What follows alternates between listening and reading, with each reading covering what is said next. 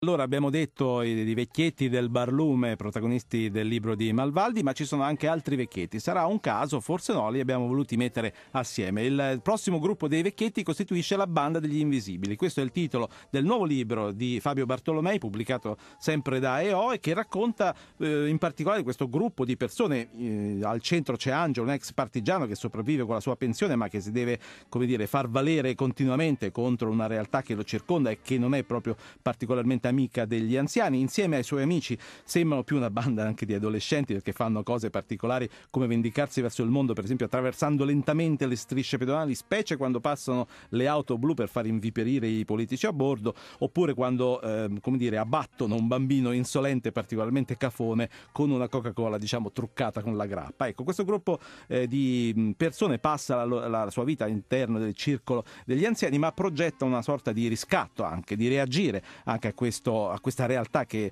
per certi aspetti li opprime, proprio prendendosela con l'uomo più potente eh, del paese e organizzando, cercando, progettando attorno a quest'uomo un piano d'azione. Ma cerchiamo di capirne eh, di più di questo libro, anche molto comico, molto divertente, con l'autore Fabio Bartolomei. Buonasera. Buonasera. Allora, Fabio Bartolomei, partiamo da questo dato, cioè la scelta di dedicare un libro, di renderli protagonisti proprio un gruppo di anziani. Oggi nel nostro paese si dice spesso l'Italia è un paese di vecchi, è un paese insomma, in cui forse è troppo eh, presente, la, sono troppo presenti i, i, vecchi, perché scegliere questo gruppo eh, di anziani protagonisti della banda degli invisibili? Eh beh, guarda, in realtà mm, proprio perché invece ho avuto la sensazione che fosse un po', un po fuori moda. C'è l'emergenza sociale, giustamente, insomma, delle nuove eh, generazioni, il, il problema degli anziani sembra quasi archiviato, risolto o comunque non così rilevante, se non altro per il fatto che loro hanno la pensione, cosa che probabilmente non sarà garantita alle generazioni future. Quindi in realtà è una situazione drammatica, è un tema che mi affascina molto perché mi piace il, eh, il mondo degli anziani e Ecco, sì, vengono descritti anche ne, loro, nella loro vita quotidiana. Mi incuriosiva sapere insomma, il punto di osservazione, cioè se è un lavoro così di osservazione a distanza o se eh, frequenti anche, proprio anche magari per curiosità, mondi di eh, persone anziane, almeno solo per, per, l'idea del libro e poi di, per scriverne. Circoli anziani, sei andato a documentarti nei circoli anziani? Ma guarda, io sostanzialmente sono stato una, uno dei tanti bambini fortunati degli fine anni 60 che sono nati e cresciuti con i nonni in casa per cui ho scoperto subito questi meravigliosi contenitori umani di storie e mi è rimasta poi la voglia che ho tuttora di parlare con gli anziani ogni volta che ne ho l'occasione, non mi sottraggo mai. Per quanto riguarda invece il discorso frequentare o meno eh, circolo anziani, diciamo che ho frequentato ma esternamente quello della Montagnola, che è il quartiere di Roma nel quale si svolge la, la storia. Mi sono messo lì da osservatore ma non sono mai voluto entrare.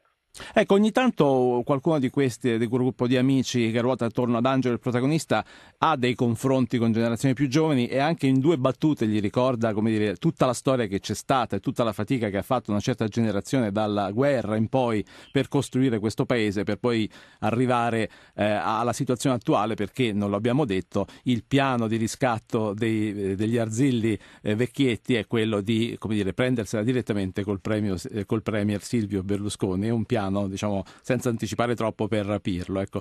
Eh, c'è un po' di rivendicazione anche da parte di questo gruppo di anziani di tutto quello che hanno fatto no? rispetto all'oggi. Eh beh, certo, ma sì, ma eh, voglio dire, persone che hanno dato tanto per il paese, ex partigiani, persone che insomma a vent'anni hanno eh, rischiato, rischiato, la vita, proprio poi immaginarsene di fronte alla televisione ad ascoltare non solo una barzelletta di troppo, ma anche sai, il ministro che la sera compare e ti dice che il, eh, il problema della crisi e del debito pubblico è perché gli italiani hanno vissuto al di sopra dei loro mezzi e poi dopo, la mattina dopo in Parlamento a votare contro la riduzione degli stipendi, sono tutte cose, ecco, ti immagini come può reagire una persona del, del genere di lì a scrivere il libro. Eh. Però è un libro molto divertente, molto comico, cioè, diciamo molto ironico, anche con una certa tenerezza nostalgica, diciamo così, nei confronti di questo mondo degli anziani che, voglio dire, eh, sembrano però anche un po' degli adolescenti, dallo scherzo sulle strisce pedonali alle auto blu a, come dire, le nostalgie d'amore del protagonista verso la sua amica Lauretta, insomma, ci sono tante situazioni che leggendo sembra di, di leggere di adolescenti però. Ah, sì, sai, poi gli anziani hanno anche questo di bello, che in realtà nei loro metti 80 anni di storia, poi in, eh, in realtà appunto racchiudono oh, varietà, c'è il l'anziano che è molto, molto infantile, c'è cioè l'anziano che torna adolescente e, e che comunque è il, è il, bello secondo me del loro, del loro carattere. Va bene, il piano, diciamo, naturalmente abbiamo detto, sono diciamo, anche quadri ironici di vita quotidiana, dentro questo piano generale complessivo, il tentativo eh, verso nei confronti del, del, Presidente del Consiglio, allora Berlusconi, poi le cose sono un po' cambiate nel frattempo, ma comunque è divertente da leggere lo stesso e un po' richiama diciamo, la tradizione delle bande della commedia all'italiana, dalla banda degli onesti ai soliti ignoti, questo lo possiamo dire, insomma, a quel tratto lì ai lettori il piacere di scoprire come andrà a finire eh, il piano degli Arzilli Vecchietti della Banda degli Invisibili, questo è il titolo del romanzo che ha scritto